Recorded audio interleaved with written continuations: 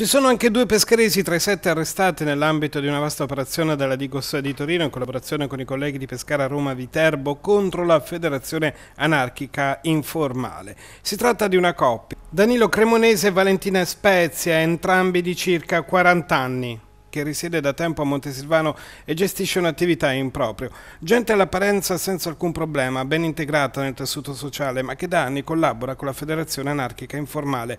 Lui è già ristretto nel carcere di San Donato a Pescara, lei sarà trasferita nelle prossime ore in quello di Chieti.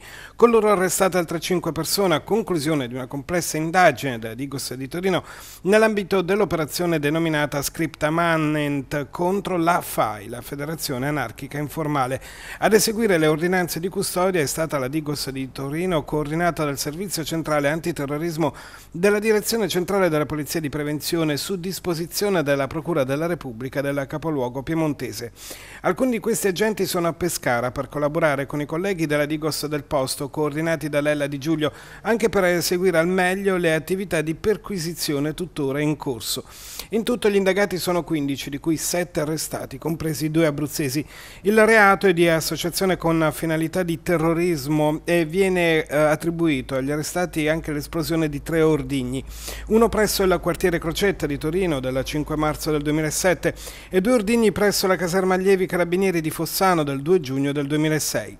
Gli ordigni in entrambi i casi erano programmati per esplodere a breve distanza l'uno dall'altro al chiaro scopo di arrecare grave danno all'incolumità delle forze dell'ordine intervenute sul posto.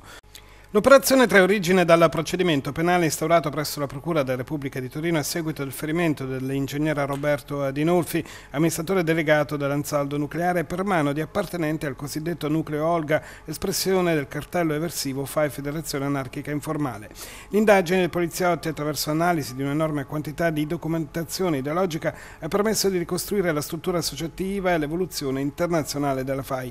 Le misure cautelari riguardano anche i militanti anarchici al freddo Alfredo Cospito e Nicola Gai, autori dell'attentato all'ingegnere Adinolfi, condannati in via definitiva l'11 luglio 2014 in Cassazione. Al primo erano stati inflitti 9 anni, 5 mesi e 10 giorni, al secondo 8 anni, 8 mesi e 20 giorni.